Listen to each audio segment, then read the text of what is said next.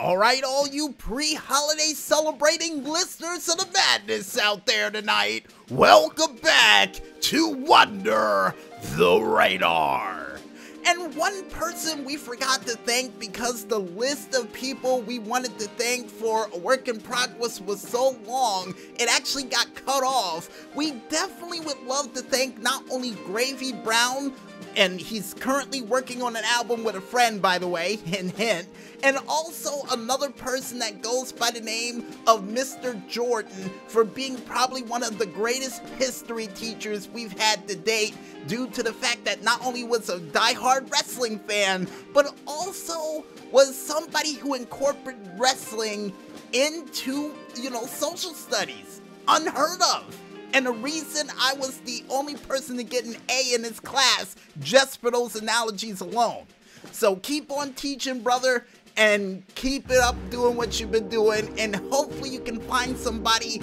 in class just like me who's a big wrestling fan you can help along the way with associating wrestling with social studies. Yeah, you know, fingers crossed that can happen in the future for you, man.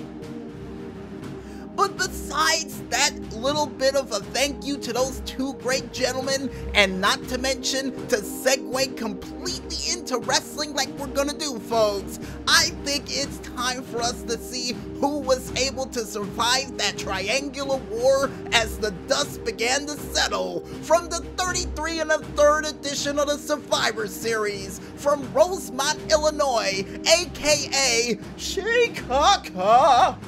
or should I say from Chicago. You're out of here. That's right, Maestro, you're out of here. Go on, get out, get out. Bowed at the wrong moment. But besides that silly Ace Ventura moment, folks, the Survivor Series would kick off with the pre-show match, which would be a Battle Royal. Really? Battle Royal. Well, how silly it may be, folks, this Battle Royal would feature not only the Forgotten Sons, Lucha House Party, Zack Ryder Kurt Hawkins, Imperium, Heavy Machinery, Breezango, who I think at this point should call themselves the Fashion Police, the Revival, the OC, and especially the Street Profits from Monday Night Raw. And all of the NXT members during this said Battle Royal would get instantly eliminated due to the tag team work between Raw and SmackDown to make sure that they didn't quote unquote win the night, as they would say in the previews for this show, would then see none other than the OC getting a super kick to the outside of the ring, leaving the team of Roode and Ziggler going one-on-one against the Street Profits, and yeah, unfortunately due the frog splash that Montez Ford would try to go for, Robert Roode would push off Ford from the top rope, leaving the team of Roode and Ziggler to win this match via elimination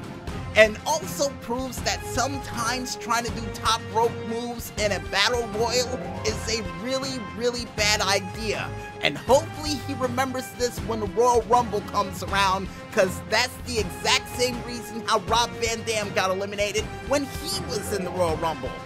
Forgot where he was, and not to mention the fans was chanting for him to do a five star, so was I, and it cost him. But besides the Royal Rumble, which is coming in less than two months from now, folks, the next match to take place on the Survivor Series kickoff show would feature none other than Lio Rush going one-on-one against Kalisto and Akira Tozawa for a triple threat shot at the Cruiserweight Championship. And this match was non-stop action, folks, and would reach its conclusion with Kalisto and Akira Tozawa teaming up on none other than Lio Rush to pull off a very beautiful double C4 bomb, or what they call a Spanish fly from the top rope, leading directly into a Salida del Sol from Kalisto, only for the man of the hour of NXT to pull off his final hour frog splash, which got a compliment from D'Lo Brown at one point in his career, for Lio Rush to get a point for NXT and to retain his Cruiserweight Championship via pinfall.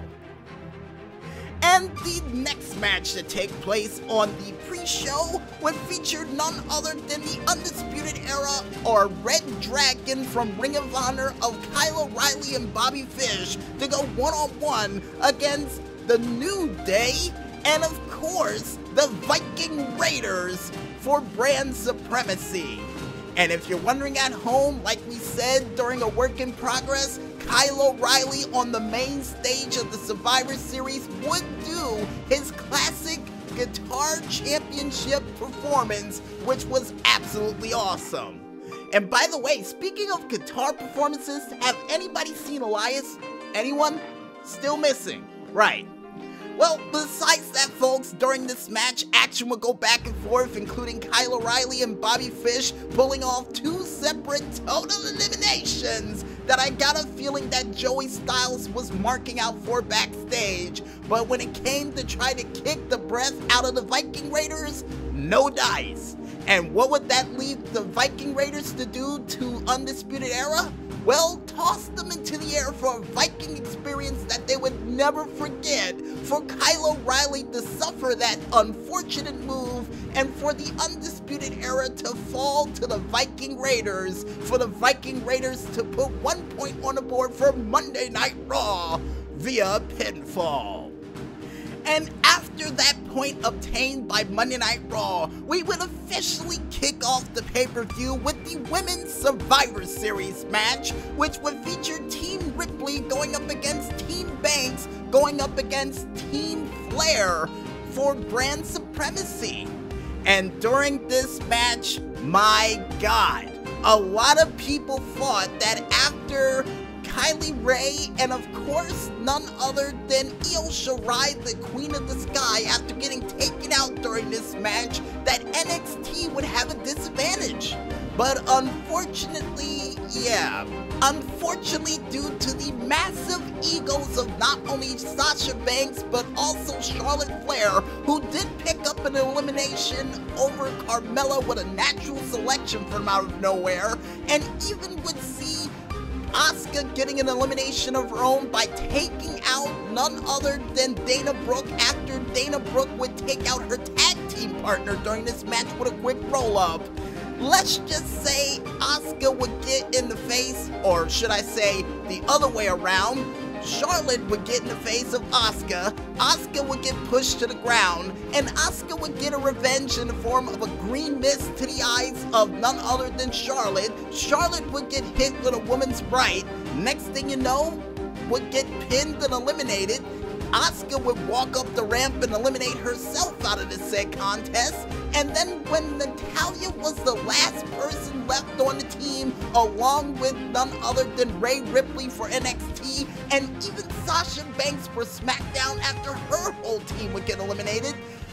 Natalya would decide to trust none other than Sasha Banks during this match after they were able to successfully eliminate not only the EST of NXT and then would eliminate none other than Toni Storm with a sharpshooter crossface combination, which was very impressive.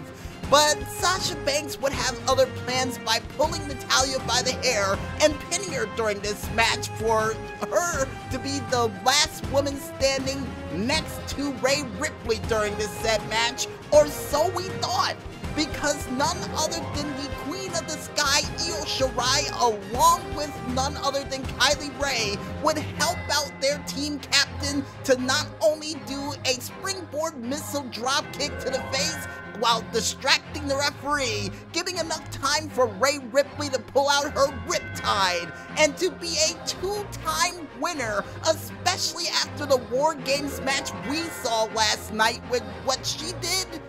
Yeah, definitely proves that she is a team captain to be reckoned with, getting another point on the board for NXT by winning this said match. And not to mention proving that NXT will do anything to win this said match, including feigning injuries to fool the other teams. Very impressive. Very impressive indeed. And the next match for brand supremacy would feature the champions of the mid-card division, and I hate to say that because it puts a little bit of disrespect on their championship belts, which would feature none other than Undisputed Era representative Roderick Strong going up against Shinsuke Nakamura and the phenomenal United States champion AJ Styles. And by the way, we did get a chance to see the reveal for the new Intercontinental Championship. Absolutely beautiful look for the Intercontinental Championship, and I got a feeling the reason why they changed it had to do with Cody Rhodes, because he was the one who brought the belt in in the first place, changing over from the old Intercontinental Championship that was held by the likes of not only Edge, Christian, Kane, and other superstars who are first ballot Hall of Famers in their careers. But besides the history of the Intercontinental Championship, folks, during this match, action would go back and forth, including the Messiah, the backbreaker, pulling off more backbreakers than submissions that Dean Malenko would know during this match but would pay for it during the said contest in the form of a nasty version of the Doomsday device that would be a Kinshasa knee strike hitting him toward the ground for a near fall for Shinsuke Nakamura. But the trip to Kinshasa Canyon would continue during this set match for not only AJ Styles, but for Roderick Strong again, leading to both near falls. And even you would see none other than Sami Zayn running interference in this match, almost costing the Phenomenal One to lose the set contest. But after getting rid of Sami Zayn, phenomenal one would take to the skies where he was the most comfortable and hit a phenomenal forearm on Shinsuke. And just when he was about to go for the win, Roderick Strong would toss him out to the outside of the ring, pinning Shinsuke Nakamura and proving that the North American champion is dominant on the Survivor Series and putting another point on the board for Team NXT. My God, NXT is starting to sweep the board now, aren't they? well, besides that, folks, the next match that would take place on this said pay-per-view would be for the NXT Championship, which would feature Pete Dunne, the Bruiserweight, going one-on-one against, and you know what's coming next, folks, Adam Cole, baby, for the NXT Championship. Man, I love saying that. And during this match, folks, action did not disappoint because of both of these guys who went through hell at War Games, battered, broken, and bruised, would put on one hell of a show that none of us would ever forget because Pete Dunne would not only be able to hit his bitter end on two separate occasions for near fall, and even his X-Plex during this match for near fall, and a nasty, disgusting sit-out powerbomb on Adam Cole for near fall, but would see the champion going back to his ROH days by pulling off a Sunrise, not only inside of the ring, but on the apron, almost costing Pete Dunne a chance at championship gold via countout but still was able to get back inside the ring to receive the final flash to the back of the skull for near fall. But this match will come to an emphatic end, folks, with Pete Dunne still going to the bitter end by trying to hit the bitter end on none other than Adam Cole for him to get reversed into a Panama Sunrise mid-flip. That was the craziest thing I've seen during this pay-per-view. And after that would happen, Pete Dunne would be dazed and confused and then would get hit with a final flash for the last time. Or is it the last flash? We keep forgetting what the actual name of the finisher is, but either way, it would lead to the gold staying in a camp of one Adam Cole, baby! For the Undisputed Era, despite losing one match tonight to leave victorious via pinfall. And just to let you know, after the match was over, Undisputed Era would celebrate up on the ramp in a potential Match of the Year candidate for us for the Indie Awards. Yeah, I'm really considering this one. and the next match to take place on this set card, folks, would feature none other than the yes man himself, Daniel Bryan, going one on one against The Fiend. And no, I'm not gonna call him Bray Wyatt because that's gonna conflict with the El Kabong slash Quick Draw McGraw identity crisis he's currently going under. And during this said match, while he was trying to figure out who he was during this said contest, Bray Wyatt would receive a fury of kicks from Daniel Bryan only to do a couple of disgusting big boy sentons on the outside of the ring and damn near throw him through the announce table on the outside, only for Daniel Bryan to respond back with a Sagat Tiger knee not only on the apron but from the top rope during this contest. But Bray Wyatt would counteract or should I say, the Fiend would counteract with a neck snap in the ring, try to go for a pin, it would lead to a near fall. And according to the Maestro, during this match, The Fiend did not go for any pinfalls. It was mostly Daniel Bryan, and especially after hitting that Busaiku knee with the help of the Chicago fans chanting yes in that arena, was still not enough to defeat The Fiend, because The Fiend would get back up on his feet, hit him with a mandible claw, not once but twice, but on the first attempt, would lead to a modified Fujiwara armbar with the assist of the ropes, but that wouldn't help Daniel Bryan defeat the Fiend because next thing you know, Mandible Claw in the center of the ring, Daniel Bryan out gasping for air, Fiend goes for the pin, three seconds later, still your Universal Sweet Tooth Champion, none other than the Fiend. And as a warning for those who wants to see that match who has epileptic seizures, be careful on watching certain points because there's a lot of strobe light effects. Just a heads up. And the next match to take place on this said pay-per-view would feature none other than the three-way men's war of the Survivor Series teams, which would feature Team SmackDown going up against Team Raw versus Team NXT, which featured not only Tommaso Ciampa, none other than Keith Lee, and I do believe Walter alongside with none other than the ultimate bro himself,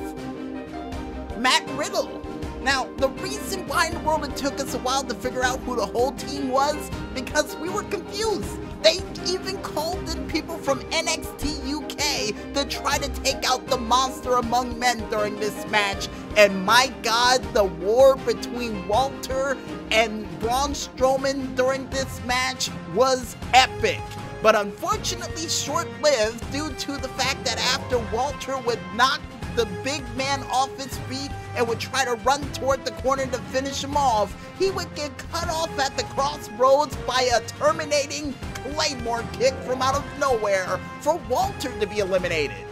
Then you had Shorty G going after Kevin Owens with a roll-up from out of nowhere to eliminate the Frankenstein monster, but before Kevin Owens got eliminated, he was able to get rid of Tommaso Ciampa during this match with a beautiful bullfrog frog splash, to quote JBL. And then, yeah, for those who are wondering what happened to Damian Priest during this set contest, and I completely forgot about him, and so did the people, because he would get hit with an RKO from out of nowhere by the ultimate soul survivor of Randy Orton but Randy Orton during this match would get eliminated by surprise by Matt Riddle with a roll-up but then would get eliminated himself by an angry Randy Orton hitting him with an RKO, but in this case, since it's Matt Riddle, an RK Bro. Yes, Maestro, I know that was a terrible joke, but it's Matt Riddle, we had to squeeze it in somewhere. And as the match continued with eliminations happening left and right, Unfortunately, the dissension between Team SmackDown would begin the show because Baron Corbin would end up costing Ali his spot on the team by pulling it at his leg, giving Seth Metal Seth Rollins enough time to black out the hometown hero, for the crowd to boo Seth Rollins and Baron Corbin, and for Baron Corbin to get his comeuppance in the form of a hellacious spear for him to get eliminated. Then you would see Keith Lee in action in the best way known possible, getting rid of Monday Night Rollins once and for all during this match, leaving the fight between none other than Keith Lee against Roman Reigns. And in a very impressive one on one match, and Maestro said, Am I forgetting something? Yes, I am. I almost forgot to mention before Drew McIntyre got eliminated, he was able to eliminate the monster among men without pinning him, but actually hitting him with a Claymore kick after Keith Lee and Braun Strowman who after Braun Strowman would try to do his classic run around the ring like a Mack truck, hitting him in the past and just, you know, clashing with him in midair, causing the monster to lose via countout proving that for three years almost in a row that the monster can only be eliminated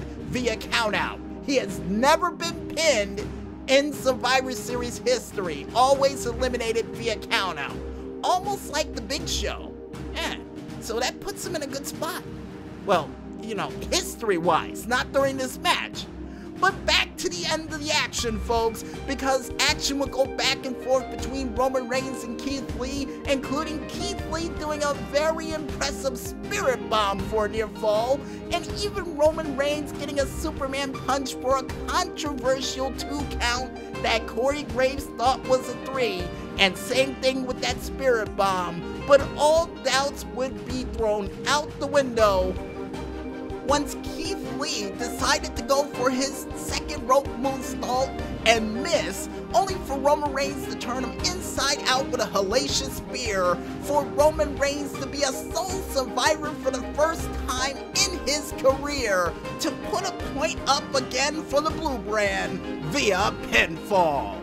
And after the match was over, a little sign of respect between Keith Lee and Roman Reigns, proving that they put on a hell of a performance for tonight, and proving that Keith Lee is a future star here in the WWE. But then again, for those longtime fans of Keith Lee, they already knew this man was a star. He just needed the proper stage and lighting to prove how limitless he is. And he really is limitless. My god, that man is impressive.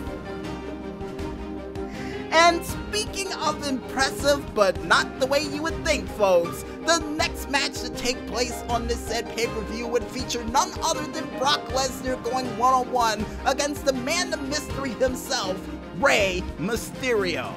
And Rey Mysterio to prove that he has to go to a place he's never been before would dress up as the Joker.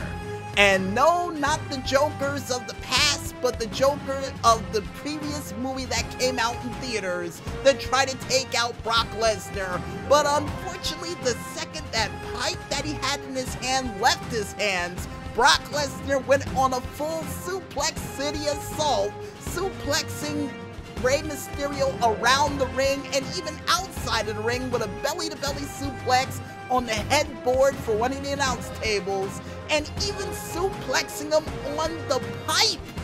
Ugh. Rey Mysterio going back first on a steel pipe from a German suplex was enough to bring out Dominic to try to throw in the towel, but gave enough of a distraction for Rey Mysterio to hit him with a low blow, and for a father-son picture-perfect Kodak moment of a 619 for not only Dominic to hit a frog splash, but Rey to hit a frog splash for a